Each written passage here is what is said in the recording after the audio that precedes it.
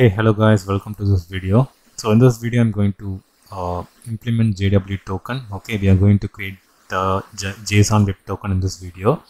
So in the last video we saw how to add the password and store that to the database. Okay.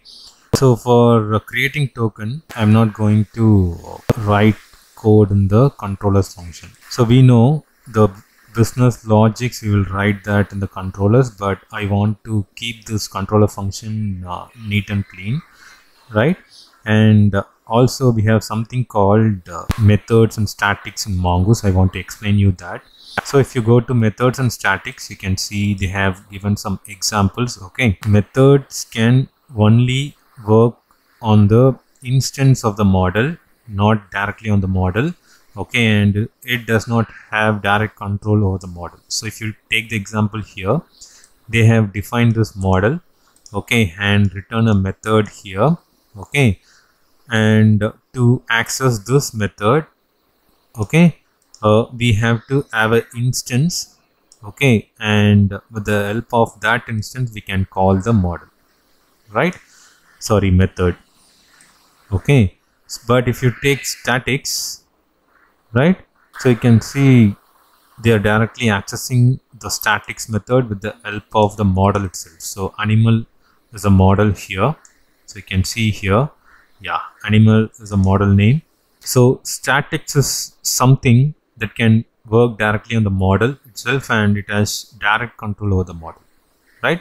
So they are nothing but a function okay? So it is similar to writing a function but it has uh, the similarities so uh, here we are creating a JSON web token. Okay, since the JSON web token does not uh, have any relationship with this model because we don't have any column called token. Okay, so we are going to write a methods here, not statics, right?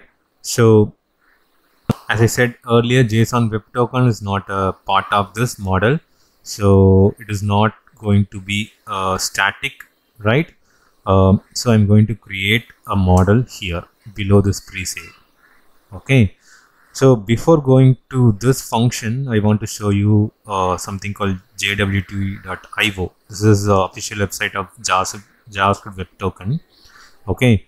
So if you go to jwt.io so this is a valid jwt token. If you take this token uh, there are three parts right? You can clearly see the color coding here right? The red part tells the algorithm and the token type used. So the type is jwt and the algorithm used okay. So the algorithm uses hs256 right? So we cannot do anything with this algorithm. It is defined by jwt itself okay? And the purple part here is for the data that we send as a payload along with the token. So if you take here, the name is going to be the data. You can see the username John Doe. Okay. And uh, sub is subject, right? And uh, IAT is nothing but uh, issued at field, issued at field. So you can easily understand this is a timestamp. Okay. So if I keep hover on this timestamp you can see the date that was created. It was created on Jan 18 2018 7 GMT okay? So it is a timestamp and the last part this blue uh, part is the verify signature part. It is a combination of what this header this payload and uh, the JWT secret 256 bit secret okay so this JWT secret code I'll be explaining the later part of this video okay? Uh, uh, so when I implement I'll show you right? So I think we can straight away go for the implementation. So the JSON web token github uh, page right? So to install JWT JSON web token we have to install this package. So I'm going to uh, the terminal right? So as we always install the package. You're going to install it json web token. Okay. So when I click on enter it is going to install this json web token package right? So once it get installed we are going to what? We are going to create a token like this. So jwt.sign this is going to be the data that we are going to send. So I showed you here right uh, name is John Doe. Okay. So here we are going to have our uh, data token data right? So this is the JWT secret code that I mentioned as a blue part in this JWT token right? So this token will be created by us. It is user defined can be of anything right? So I think it would have got installed here. You go to package.json right? So when we see the package.json we see json web token yeah it got installed. Okay. So guys uh, so before we implement i want you guys to understand why do we need a token. Okay. So why do we create a token here and why do we need it? Right? That is the question here. So when the user registers and tries to access some of the private routes from the application right? So it is always known to everyone that not all the routes that we create here it is exposed to all the users right? So when i go to the controllers uh, we have to hide some of the routes specific to some users right? So based on the user roles and permissions we are not going to expose some routes to some of the users okay so we need the user details to confirm only that specific user is accessing the routes. Okay? So for this we need the user's information the front end and this cannot be sent directly to the front end application as the front end application is prone for cyber attacks which means the hackers can easily steal the user information from the front end. Okay? Because it is a browser uh, as we all know we cannot uh, say that browser is 100% safe and secure all the times. Okay? So to hide the user's information we are sending the user details packed with other information as a token as I showed you here. Okay? So the user detail is packed here with the other details so that only the application can read and understand it. Okay? And the hackers cannot even uh, what? Steal it because this JWT secret is not exposed to the hackers and it is maintained in the code right? It is maintained in the memory and it cannot be read from the server. I think it made sense for you. So we'll see deeply when we implement the private routes in the later stage. Okay? So let's stop this theory and I think we can implement JWT now. Perfect. So I think we have already installed it. I will run the application npm start. Okay so uh, we have installed the jwt package. We just need to uh, import that to our application. I'll say jwt require json web token. Okay so it has been added imported to our model right? So what I'm going to do here is I'm going to say user schema dot I've already explained you. I'm going to create a methods get JWT token. Okay. And this is going to be a function. As I already told you methods are nothing but a function but it can have it does not have direct control over the model and it can only act on the instance of the model okay? I'm going to show that now.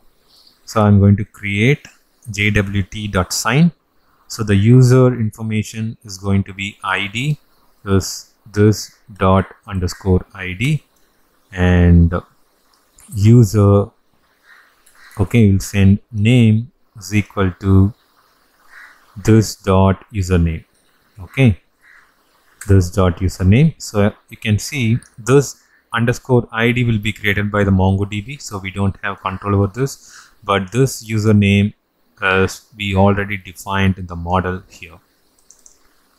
Okay. So along with this what we are going to have is i'm going to uh, uh, i go to dot env okay dot env yeah it is here so here I'm going to create a variable called jwt underscore secret. And this is going to be so it can be of anything. Okay so i'm going to have some number.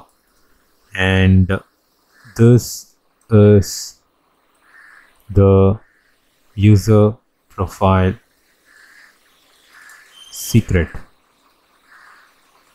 and again some number okay and also i'm going to have a variable called jwt underscore expire because we have to say when this JWT token should expire. So I'm going to say 30D, which which means 30 days. Okay, so we can save this. So I come back to user profile.js and here I'm going to pass the secret as I said the JWT secret is the main thing because it is maintained in the code as well as it is not exposed to the uh, front end okay? So expires in so we are going to configure some options here. Process dot env dot jwt underscore expire okay so we have set the expire right so let me save this. So user profile.js is saved. I think the model we have defined the methods and we have saved it. So now I go to uh, what the controller function. Okay so I go to auth.js and uh, here before we pass what the user to the response so I'm going to create a token here. So it is const token equal to as I already said methods have control over the instance of the model okay? Uh, call that methods with the help of this instance only okay? So user dot the method name is get jwt token right? So the method is called here and I'm going to pass a token along with the data right? So token. So instead of data user I'm going to pass the token as token. Because as I already said you we should not expose the user information to the front end as it is easy for the hackers to steal the user information okay? So we are sending the token here. So token right? So I save it. So let us check whether this works or not right? So I go to the MongoDB. So I delete this. So we can have this. We can send uh, another data okay? Uh, different data. So this is going to be Apu and 987615423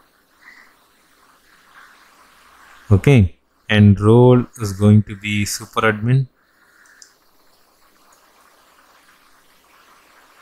Right so role is going to be super admin. Password is going to be uh, okay shakti 4345 right?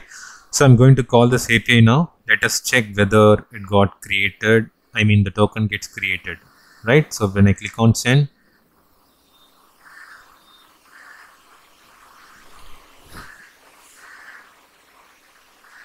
okay we got 500 internal status error uh, let me check. So it says user dot get jwt token is not a function. So when i check the controllers we are calling this function. Okay so i go to the user profile model. I think there is a small typo mistake here. So i'll change the function name. I save it. Okay uh, I think the server is running back. So let us stop the server once because we have changed something in the models right? So I start the restart the server. And now I go back here and save it uh, okay once the server restarts we will again save it. Okay restart it again. So I saved it again. So let me check again okay? Click on send. Duplicate key error. So username Appu I think it got uh, inserted. Because the methods did not execute but the user got inserted. So what I do I delete this uh, data. Okay. Uh, got deleted. Now I go back to the postman and click on send. Let us check. Yeah. So as you can see it got success and we got we generated a token here. Okay. So I'm going to copy this token go to jwt.io and paste it here. Right? Perfect. So if you can see now uh, we have a data called id and name is Appu okay this is what we sent it uh, in the token. Okay when we created a token I go to the user profile.js so we can check it here. We have two values id and name. Id is a uh, thing that got uh, created. Okay so you can see here it got created in the mongodb and name is this dot username which is Apu. Right perfect. So it got created. And we have some error here. Okay. Uh, yeah it is a previous error. I think it is uh, fine now because we passed the uh, I mean uh, the existing data Appu okay. Uh, in the model we defined the username as unique. So that's why we got uh, this error right? I think now it is fine.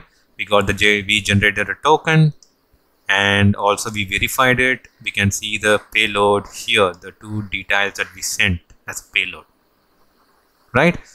So I hope guys this video would have helped you a lot in learning uh, how to create JWT token okay?